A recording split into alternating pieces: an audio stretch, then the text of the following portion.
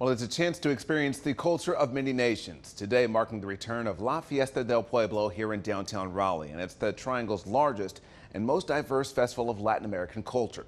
Our Anthony Wilson with the moment to take it all in. Return of La Fiesta del Pueblo to downtown Raleigh's cause for celebration. Fayetteville Street's the place to be. It feels great. Proud day to be Hispanic, Latina. Woo! So much to see and do with the opportunity to experience culture from many nations where Spanish is the primary language spoken. Those roots are in Siena Ochoa's family tree. So my mom's parents are from Puerto Rico, and then my dad's from Ecuador. We saw lots of activity at this table where people got answers to questions about citizenship, educational opportunities, and more. I'm an immigration attorney focusing on humanitarian matters. And you've been very busy today.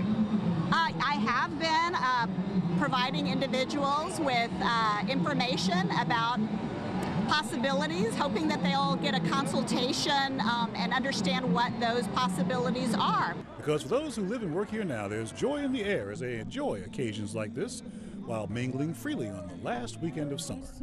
Full citizenship remains a goal for many, and Jenny Doyle's happy to help. My mother herself um, came to the United States with $50 and she uh, she was able to open a business in Houston, Texas, and I was able to um, take advantage of educational opportunities. And today, I feel like um, we've come full circle. And for those who need a little assistance getting around on this day, there is a handy guidebook that's bilingual. But there's no need to look very far for a food truck.